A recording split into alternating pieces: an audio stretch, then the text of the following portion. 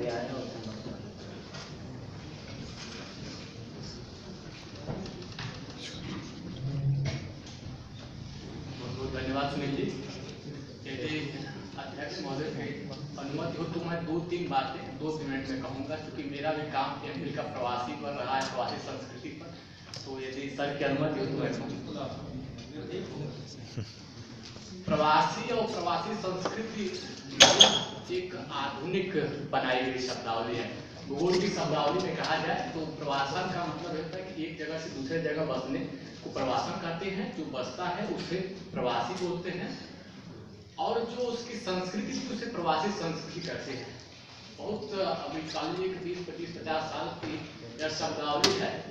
कि प्रवासी रूढ़ अर्थ में दूसरे देशों में बसने को कहा जाने लगा कि प्रवासी वो है जो दूसरे देश में जाकर बस जाए।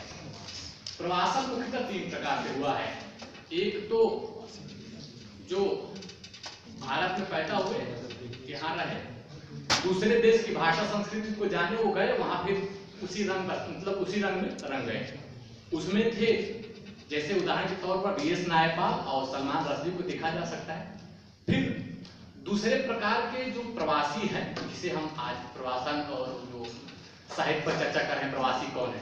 उसमें वो है जो अवसर की तलाश में यहाँ से गए, लेकिन कहीं ना कहीं उनके अंदर भारत की टिक्स बची रह गई।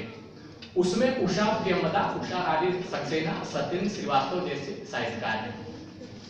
और फिर तीसरे प्रकार के प्रवासी वो थे जो, जिनको पता ही नहीं था कि हम कौन हैं। बस इतना जानते थे कि हम मजदूर हैं, यहाँ से उनको ज़बरदस्ती ले जाया गया। उनके पास अब केवल अपनी भाषा थी उनके पास कोई दूसरी भाषा नहीं थी तो वह केवल केवल अपनी भाषा में ही बात कर सकते थे। इन तीनों में जो भारतीय संस्कृति है, वो अलग अलग रूप में है।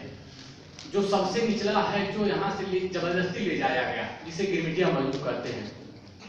वह तो जानता ही नहीं था कि भार्गव भारतीय क्या है। वो तो उसकी अपनी संस्कृति थी और वो मजदूर था, वह जानता था कि काम करना है और खाना है। और उसके ऊपर वाला जो जिसके अंदर भारत की टीस रह गई। वह भारत बचा क्या इसलिए भारतीय संस्कृति की बात करता है। और तीसरे जो वी एस नायपाल और सलमान रश्दी जैसे लोग हैं, इनको बताया जाता है क्या भारतीय संस्कृति पर ध्यान रखिए। ये मोटी मोटी शब्दावलियाँ थी, क्योंकि मैं क्योंकि पढ़ा था, थोड़ा सा मुझे लगा कि एक बार बात करनी चाहिए। और पूजा जी जिसकी बात कर रही थी भारतीय संस्कृति की, वो भारतीय संस्कृति, यदि आप अंतर्वंशी उपन्यास और उषा उषा प्रेमदा के और उपन्यासों के माध्यम से देखेंगे तो उसमें दिखेगा है। मैं अब धन्यवाद क्रम में डॉक्टर विनोद तिवारी सर का धन्यवाद दूँगा। सर, इस सत्र की अध्यक्षता की। सर ने कहा, संस्कृति को बनाम के मतलब सर, संस्कृति को बनाम के माध्यम से देखने का प्रयास किया। बहुवचनात्मक रूप में बताने का प्रयास किया। सर को मैं बहुत बहुत धन्यवाद देता हूँ। फिर इस कार्यक्रम के पर्यवेक्षक डॉक्टर मुकेश मिरोठा सर को भी धन्यवाद दूँगा, उनका आभार व्यक्त करूँगा। उन्होंने संस्कृत समाज साहित्य किस तरीके से बदल रहे हैं, इसको बताने का प्रयास किया।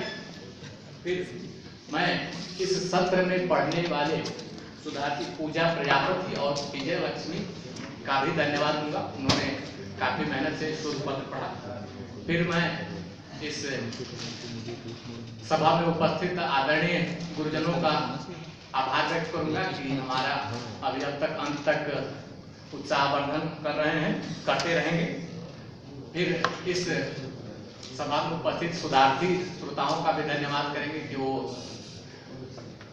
यहाँ उपस्थित होकर के इसकी शोभा बढ़ा रहे और अंत में मैं संचालक सुनील चौधरी जी का भी धन्यवाद करूँगा कि वो इस सत्र की बहुत कुशलतापूर्वक संचालन की।